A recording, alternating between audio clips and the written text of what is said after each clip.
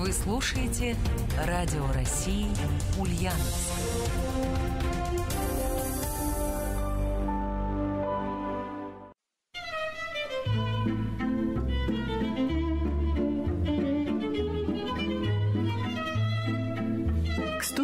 160-летию со дня рождения великого русского писателя Радио России Ульяновск и Ульяновский молодежный театр представляют совместный проект «Читаем, читаем Чехова». Чехова.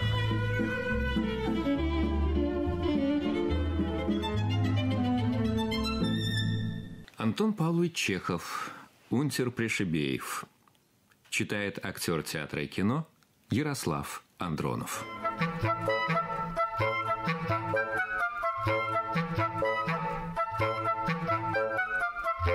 Унтер-офицер Пришибеев, вы обвиняетесь в том, что 3 сего сентября оскорбили словами и действием урядника Жигина, волосного старшину Аляпова, Соцкого Ефимова, понятых Иванова и Гаврилова и еще шестерых крестьян, причем первым трем было нанесено вами оскорбление при исполнении ими служебных обязанностей.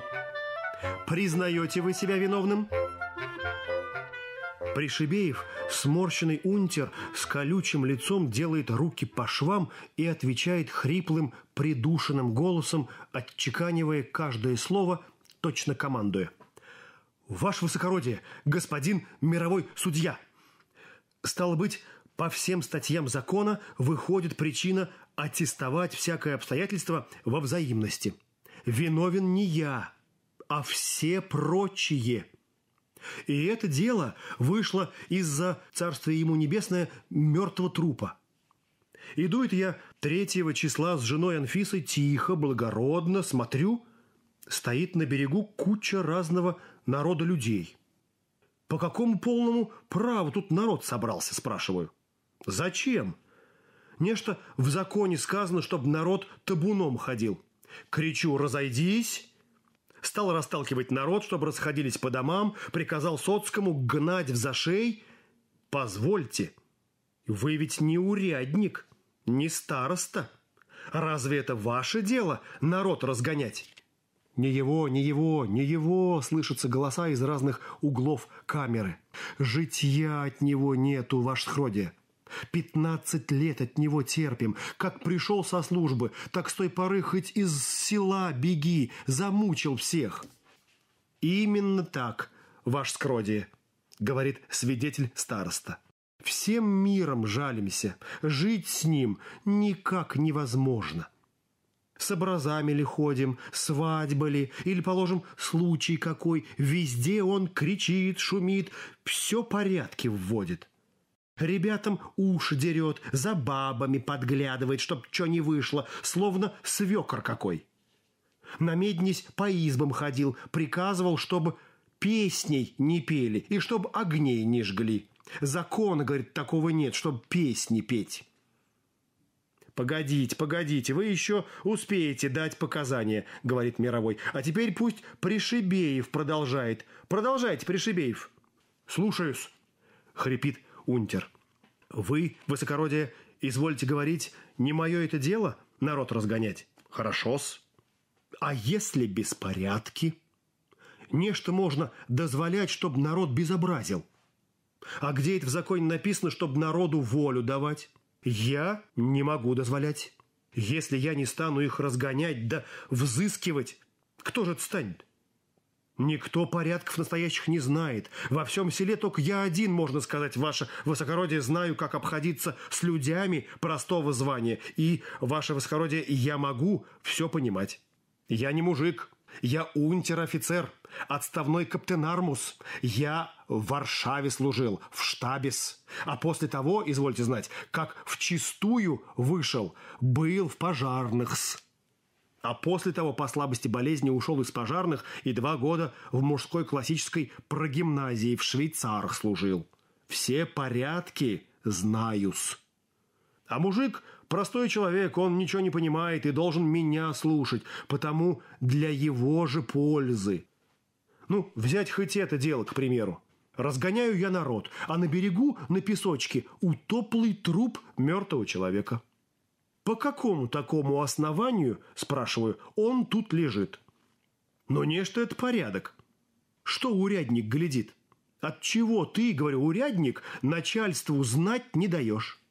Может, это утоплый покойник сам утоп, а может, тут дело Сибирью пахнет? Может, тут уголовное смертоубийство? А урядник Жигин никакого внимания, только папироску курит. Что это, говорит, у вас за указчик такой? Откуда, говорит, он у вас такой взялся? Нечто мы без него, говорит, не знаем нашего поведения. Стало быть, говорю, ты не знаешь, дурак этакой, коли тут стоишь и без внимания. Я, говорит, еще вчера дал знать становому приставу. Зачем же, спрашиваю, становому приставу? По какой статье свода законов? Нечто в таких делах, когда утопшие или удавившие и прочее тому подобное. Нечто в таких делах становой может. Тут, говорю, дело уголовное, гражданское.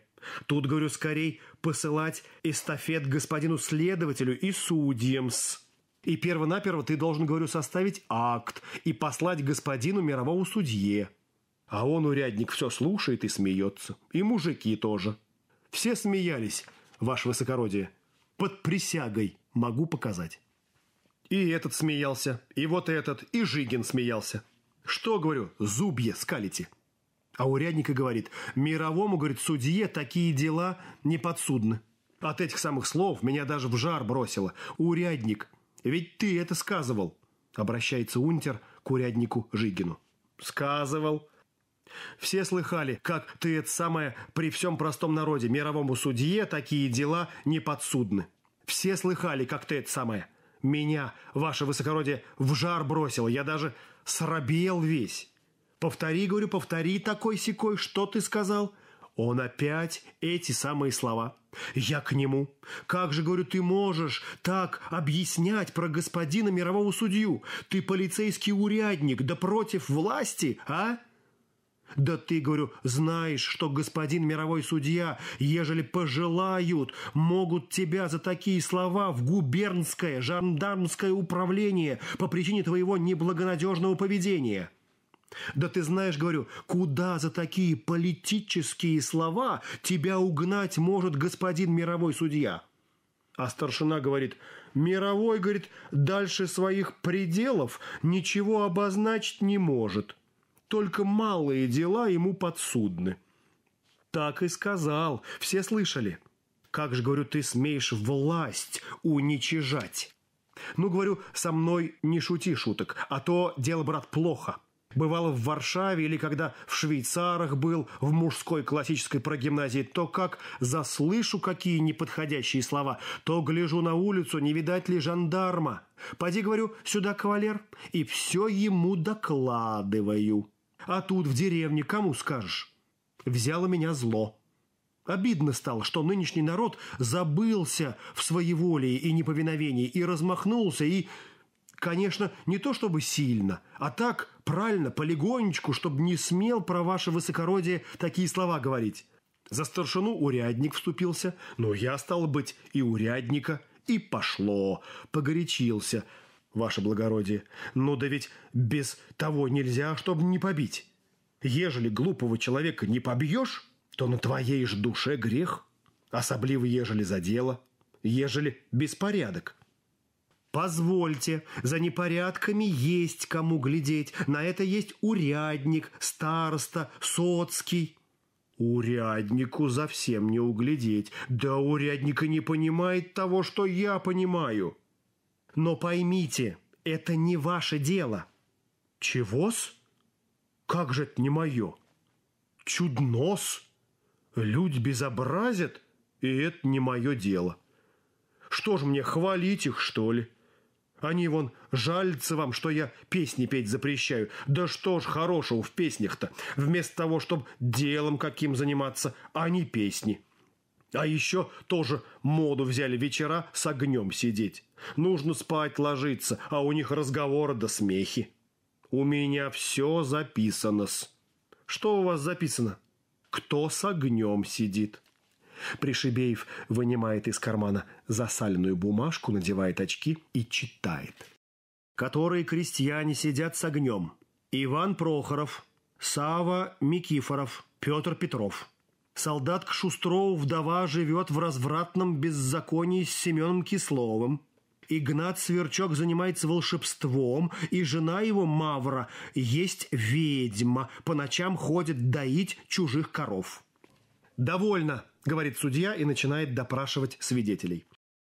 Унтер Пришибеев поднимает очки на лоб и с удивлением глядит на мирового, который, очевидно, не на его стороне. Его выпученные глаза блестят, нос становится ярко-красным.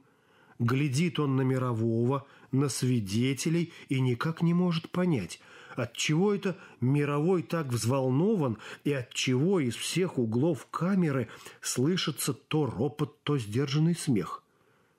Непонятен ему и приговор на месяц под арест. «За что?» — говорит он, разводя в недоумении руками. «По какому закону?» И для него ясно, что мир изменился и что жить на свете уже никак невозможно. Мрачные унылые мысли овладевают им. Но, выйдя из камеры и увидев мужиков, которые толпятся и говорят о чем-то, он по привычке, с которой уже совладать не может, оттягивает руки по швам и кричит хриплым, сердитым голосом. «Народ, расходись, не толпись по домам!»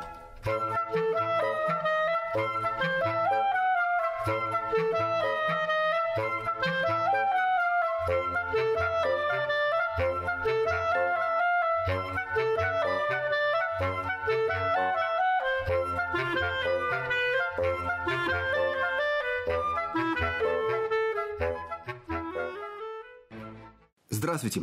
У микрофона журналист Евгений Слюняев. Вечернюю программу радио государственной телерадиокомпании «Волга» продолжает передача «Готов к труду и обороне».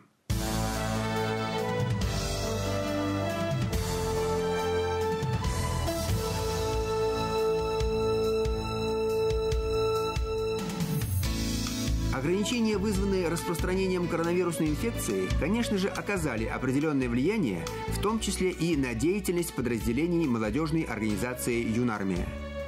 Но не такой характер у российских юнармейцев, чтобы просто сидеть по домам и ждать отмены ограничений. Время не ждет. Юнармейцы спешат учиться, получать новые знания и навыки и помогать тем, кто нуждается в их помощи. О деятельности отрядов юнармии нашего региона в этот непростой период сегодня мы говорим с начальником штаба регионального отделения юнармии в Ульяновской области Владимиром Ульяновым. Да, хотя свой отпечаток наложил вот это введение особых условий для проведения мероприятий.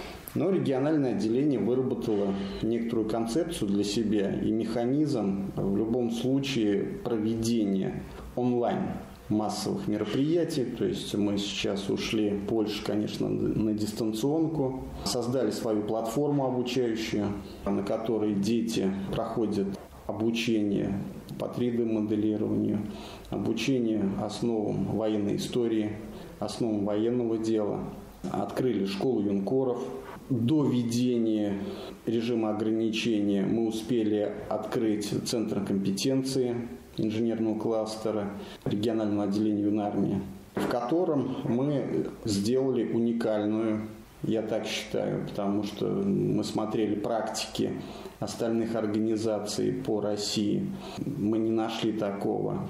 Это уникальная система, называется онлайн-лаборатория, к которой подключены через сети интернет юноармейцы, которые проходят на нашей онлайн-платформе обучения и выполняет практические задания. То есть эта онлайн-лаборатория представляет собой законченный ряд станков и оборудования, например, таких как 3D-принтеры, ЧПУ, станки, где стоит э, один лаборант, и все задания, все проекты юноармейцев в одном месте все делаются. То есть получается, что юноармейцы, они не только там теорию изучают, но и в практике получают свои проекты, навыки. То есть пока такая лаборатория у нас в России одна, другой не знаю. И она сейчас действует? Да, она сейчас действует, но мы ее постоянно модернизируем, то есть мы ее запустили, проверили, есть недоработки, сейчас опять модернизируем, и каждые две недели мы проверяем ее работоспособность на большое количество. В идеале, конечно, это пользование там 6-7 тысяч детей этой онлайн-лаборатории, которая на нашей платформе уже снабжена обучающими программами. То есть детям у нас сейчас не скучно. То есть они получают программу обучения по самым высоким технологиям. В то же время мы начали создавать Центр военно-тактических игр юнармии. Это площадка закрытого типа с тактическими городками и горно-штурмовой полосой, где дети проходят военно-спортивные дисциплины, проводятся игры по лазертагу, страйкболу, тактической подготовки и горно-штурмовой подготовки. Это все находится на базе ДК Чкалова, это Крымова 67. А, нам навстречу пошел Ульяновский прибор-строительный завод, сейчас КРЭД, и передал нам часть площадей ДК Чкалова. То есть мы там сделали ремонт, создали тактические городки и сейчас уже проводили игры, но так как сейчас у нас пока ограничения есть, мы приостановили и готовимся к разрешению на проведение. То есть практически у нас сейчас есть два воспитательных центра, где дети со всей области могут повышать свое мастерство и навыки и получать дополнительное образование. Это новинки, те, которые, считаю, региональное отделение может гордиться ими. Вы сейчас говорили, что такой лаборатории, как здесь у нас в Ульяновске, больше нет в России. Но я думаю, что и таких городков в России тоже не очень много найдется. Не, есть, конечно. То есть э, есть в нашем парке Патриот. В Москве? На, в Москве, да, на Кубинке. Не, ну, конечно, мы с Министерством обороны не можем тягаться. Там бюджет немножко другой. Но цели одинаковые. И считаем, что тут не важно в каких условиях, если цели и задачи обозначены, их надо просто добиваться. И не смотреть, где красивее или функциональнее. То есть э, могу пример привести он с кубинскими боксерами. Они тренируются на улице, вместо канатов веревки и 30-летней давности перчатки выигрывают все Олимпийские игры. Кстати, за это время, ну, кроме таких успехов, которые э, я считаю инфраструктурными и увеличением материально-технической базы, мы в условиях коронавируса и ограничений, все равно с применением всяких профилактических средств ведем волонтерскую работу. До 9 мая наш штаб региональный и юноармейцы объехали порядка 36 ветеранов Великой Отечественной войны и привезли им продуктовые наборы, которые совместно с Российским союзом ветеранов и другими спонсорами мы приготовили и вручили ветеранам уже. То есть ветераны были рады, то есть у нас очень много фотографий, видео, которые мы сделали, они благодарят юноармейцев. То есть я считаю, что действительно ветерану это очень отрадно. Тут дело даже не столько в самих продуктовых наборах. Конечно. Вообще знак внимания, вот это дорогого стоит. И не только знак внимания, а то, что они видят, что это дети с определенным уровнем дисциплины пришли навестили их. Это дети, которые также думают, как и эти ветераны. Это дети, которые также чествуют эту победу, которые чтят их память, которые знают, как тяжело досталось. Почему? А потому что эти дети такую же школу сейчас проходят, да, в мирное время. Но они проходят такую же школу, которую ветераны получали. В свое время. Да. И они дышат одним и тем же воздухом и с одними и теми же идеями. Конечно, и ветеранам комфортно, и детям. Кстати, поток желающих включиться в юноармейское движение не иссякает? Нет, конечно, не иссякает. Единственное сейчас, так как у нас массовые мероприятия запрещены, у нас есть метод онлайн-приема, но мы стараемся его часто не использовать, если уже конкретно есть такая задача, что дети поставили региональному штабу, мы хотим вот именно сейчас. Не хотят ждать, когда да. ограничения. Да, вот у нас буквально недавно 55 детей из Николаевского района вступили в юнармию, то есть они не стали ждать. С одной стороны радует, конечно, то есть это мощный посыл. Они видят успехи других юнармейцев, хотят быть на них похожими. Я считаю, что после окончания ограничений у нас намного увеличится. Уже есть заявление, мы просто ждем окончания ограничений. Чтобы провести это все торжественно. Конечно, потому что ритуальная часть, когда в торжественной обстановке они говорят клятву юнармейца, когда им вручают знаки, когда они видят, что они не одни, что у них есть товарищи, когда они знают, на кого можно равняться. Конечно, это очень большое дело. То есть э, дети заряжаются намного-намного времени вперед. И я жду, когда э, закончатся эти ограничения, потому что мы им столько много мероприятий подготовили. У нас мероприятий на этот год на 49 листах. Из них очень много интересных. Пока лето, мы делаем упор в том числе на экологическую направляющую. Например, мы заключили соглашение сейчас с УГУ, опорным вузом, по поводу проведения совместных мероприятий, туристических походов. Мы их назвали экодесантами. Когда дети выезжают, ну мы географию этих походов примерно решили вдоль Волги. Провели рекогносцировку, посмотрели самые загрязненные места, посмотрели места, где можно разворачивать туристические стоянки, сделали положение, проработали вопрос по питанию, проработали вопрос по доставке.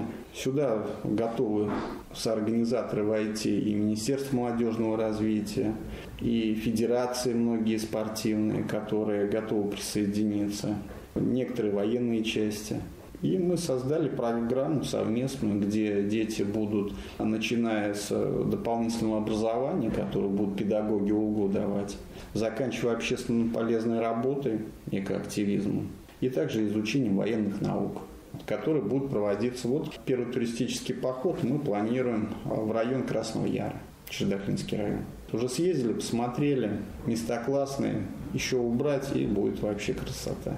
Это вот одно из наших направлений. Также у нас вот мы планируем это стрелковое многоборье, где наши юнармейцы будут показывать навыки и выучку по стрельбе из э, пневматического оружия, как пистолет, винтовка, так и из лука и арбалета с элементами силовой подготовки. Планируем проводить это все на стадионе первой гимназии. Ну, опять же, при условии снятия ограничений.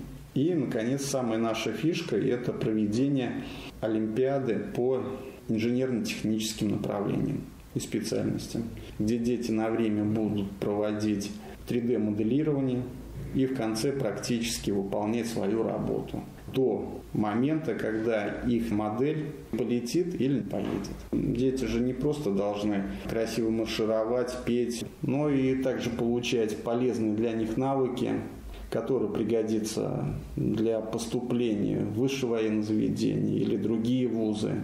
Да вообще это по жизни пригодится. Конечно. То есть у нас дети знают основы медицины, они знают основу выживания, основу военной службы.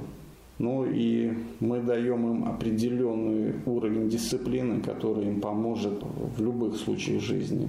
Как в работе, учебе, так и в службе в рядах вооруженных сил.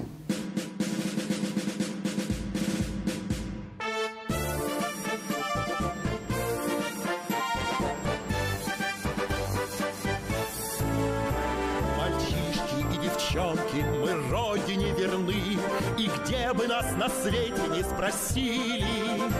Мы юные армейцы, защитники страны, Стоим на страже Родины России. рождения мы вместе с любимою страной. Мы в школах создаем свои дружины. Во благо общих целей мы дружно ставим строй, Когда мы вместе, мы непобедимы. Юнармия, юнармия, вперед! Мы помним наши славные победы. За правду, за свободу, за веру, за народ, Как завещали нам отцы и деды. Юнармия, юнармия, юнармия, вперед! За нами наша Родина Россия. К великим достижениям юнармия зовет. Идем в строю и верим в свои силы.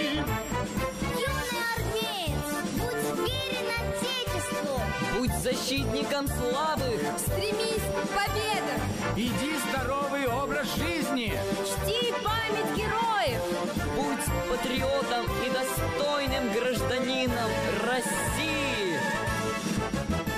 Пока мы молодые, но в нас горит огонь Единства, дружбы и патриотизма помним наших предков, не сломленных войной Отдавших жизни за свою отчизну Мы многому научимся у дедов и отцов И приумножив навыки и силы мы вырастем могучими из маленьких юнцов И будем строить новую Россию. Юнармия, юнармия, юнармия, победы. За правду, за свободу, за веру, за народ, Как завещали нам отцы и деды. Юнармия, юнармия, юнармия, вперед! За нами наша Родина Россия. К великим достижениям юнармия зовет. Идем в строю и верим в свои силы. Юнармия, юнармия.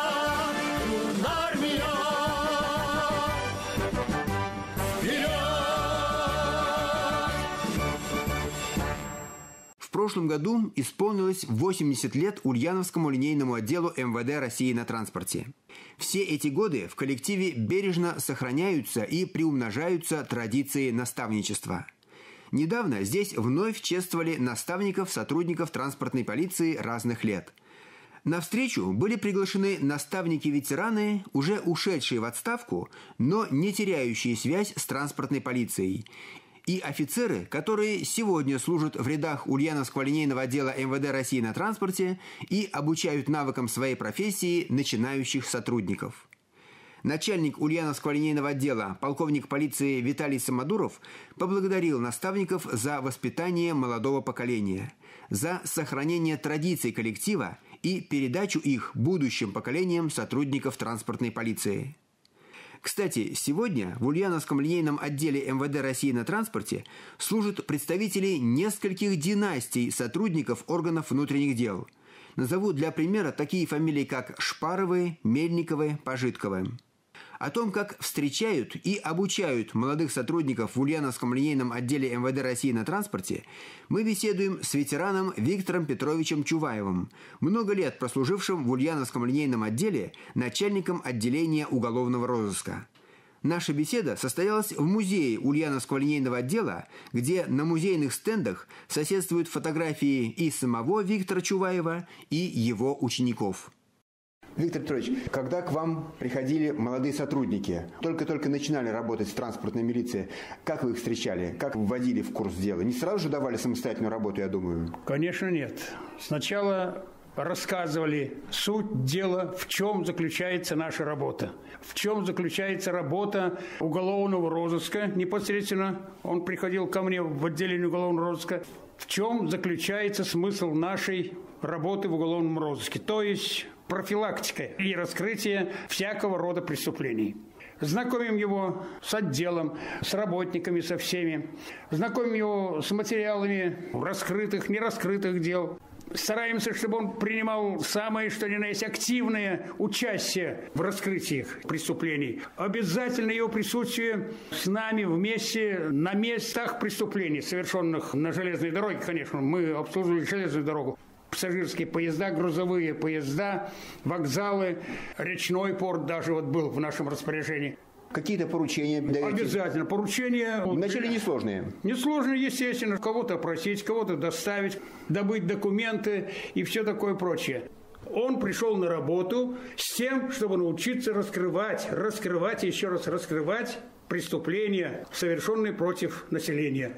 Во-первых, он прикреплялся к опытному оперативному работнику. Идут вместе на осмотр места происшествия, идут вместе в засады. Особенно вот у нас в те времена, 50-е до 70-х годов, на станции Ульяновск-1 была грузовая станция. Вот он там набирался опыту, как себя вести на месте происшествия, обнаружить там следы, обнаружить улики разного рода. Потом все это дело он же сам скреплял и докладывал. Потом, по мере того, как он набирался опыта, он уже становился самостоятельным опером. А это уже требовалось от него ответственности за проделанную им работу.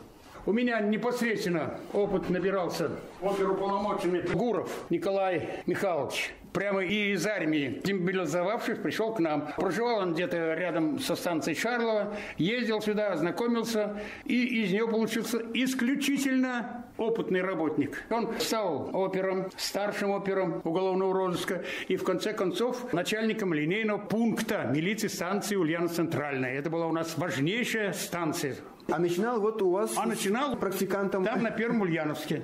Идем учу, я вам покажу одного ученика. Это вот непосредственно тоже ученик. Безняков Юрий Викторович. Начинал работу с инспектора детской комнаты. Но в связи с тем, что он был очень дотошный, что ли, прям вот вникал. Если где-то что-то случилось, он не мог, чтобы его не взяли. Он просился, ради бога, возьмите меня с собой. Я хочу быстро научиться. Выучился. Он дошел тоже до старшего оперуполномоченного уголовного розыска. Но в связи с обстоятельствами семейными он вынужден был уехать в Сибирь. И в Сибири закончил службу полковником милиции. Ушел на пенсию. Сейчас жив-здоров, работает в Москве. Замечательный мужик. Вы своими учениками гордитесь? Я горжусь. И очень-очень доволен их работой. А это вот тут ваша фотография? Это моя курсант Саратовской школы милиции. Вы только-только прибыли сюда, да? Не, я еще не прибыл, я еще учился там. Mm. Ну, а когда сюда прибыли, вас тоже так же встретили? Как да, меня сразу прикрепили вот к старшему оперуполномоченному Архипу Андрею Тихоновичу. Это один из опытнейших работников на транспорте, работников уголовного розыска. У него было чему научиться, и я благодарю Бога за то, что я попал к такому педагогу. Он потом был начальником линейного пункта на станции Ульянов центральной некоторое время. Потом вот благодаря его огромным познаниям специальности он был переведен в УВД по их просьбе и был назначен начальником железнодорожного райотдела милиции. Потом его перевели в город Дмитровград начальником городского отдела, где и закончил свою службу подполковником милиции. Это мой учитель. И я горжусь, и я очень рад, что именно не к кому-нибудь, а именно к нему. Вас прикрепили? Да.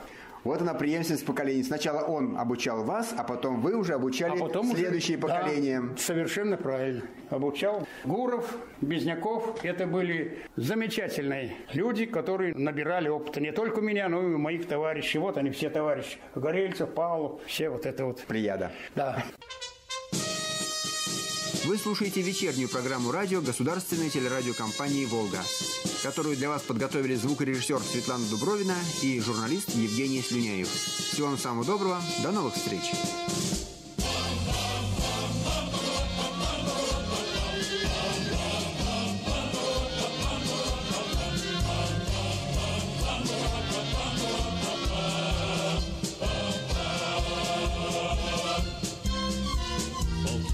Идут стеной, красиво держат строй И гордо шелестят знамена. Комбат и рядовой, единую судьбой Мы связаны навек, друг мой. Служить России суждено тебе и мне. Служить России, удивительной стране Где солнце новое встает. На небе